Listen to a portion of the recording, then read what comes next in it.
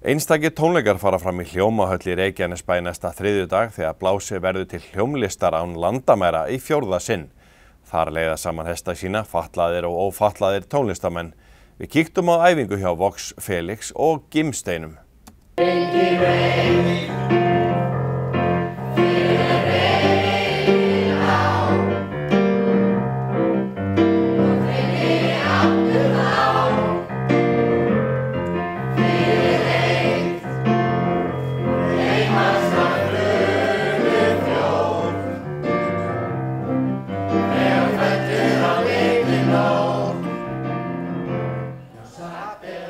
Þið eru að halda utan um verkefni List án landamæra sem er mikið listaverkefni og þetta er nú ekki í fyrsta skipti.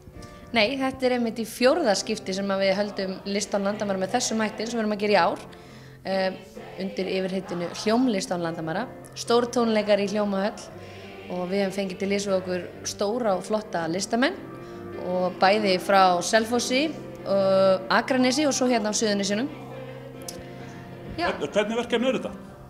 Herru, þetta er sett verkefni þar sem að fatlaðir einstaklingar, tónlistamenn í þessu tilfelli og ófatlaðir vinna saman. Og þetta er bæði svo gefandi fyrir eh, báða aðilega, sem sagt, þá sem koma báðum einn að verkefninu. Við erum hérna með tvo frábæra kóra, Vox Felix kórin okkar sem hefur nú aldrei sínt svo sannað, svo flottu kór. Og svo erum við með Gimsteinana sem er kór fatlara hér á Suðunisjöum sem er líka alveg geggjaður og þau hafa verið með okkur áður líka. Eh,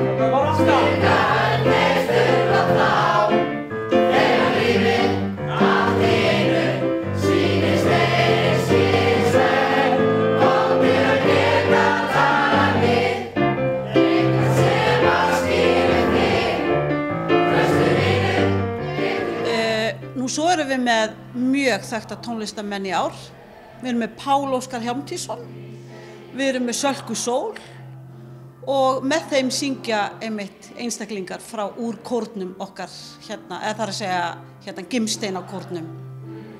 Þið hafið undanferðin ári verið að fá til ykkar bara landstækt tónlistafólk til þess að taka þátt í þessu verkefni. Já, algjörlega. Við hefum verið með bara þessa þekktustu tónlistamenn.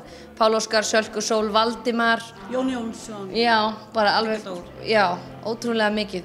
Og það sem er eiginlega svolítið skemmtilegt í ár er að við erum með sagt, uh, tvo tónlistamenn úr rauðum fatlaðara sem að er að gefa út sína fyrstu plötur. já, Það er svolítið skemmtilegt. keflingingur, annar, Við báðu keflingingar, já, Már, Már Gunnarsson og svo Július Arnar, eða Júli A eins og hann vil láta kalla sig, sem er rappari.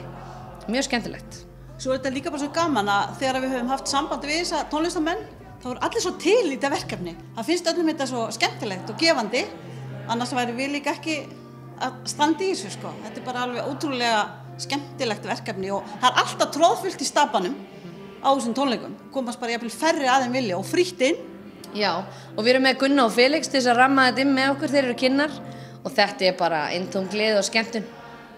En hvernig er undirbúningurinn? Er þetta ekki svolítið langt undirbúningsferðlið? Það þarf að æfa á annars líkt.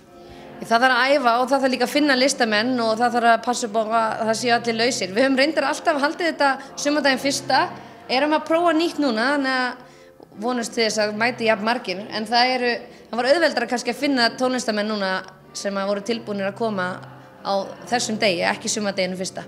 Og því ofta sem við gerum þetta, því auðveldar að verður þetta, þetta lítur alltaf út fyrir að vera alveg svakalega mikil vinna og er að vissu leiti ákveðin vinna, en þegar við höfum svona flott fólk með okkur og fólk sem er tilbúið að vera með okkur aftur og aftur, eins og Arnór Vilbergsson með sinn kór og, og gimstinnarnir og þeirra stjórnundur, þá einhvern veginn verður þetta auðveldara og auðveldara. Þetta hlýtur að vera mjög gefandi fyrir alla sem að þessu koma. Það er þar klálega og þetta er bara, það eru allir á heilum hug í jákvæðni, það er engin fíla og ekkert vesen og þetta gengur bara eins og smurðvél, þetta er ótrúlega skemmtilegt. Og hvenær ætlið þið svo að hafa tónleikana? Þriðdæginn næsta, annan apríl, klukkan 8 í Hljómahöll, fritt inn, allir velkomni meðan húsum leifir.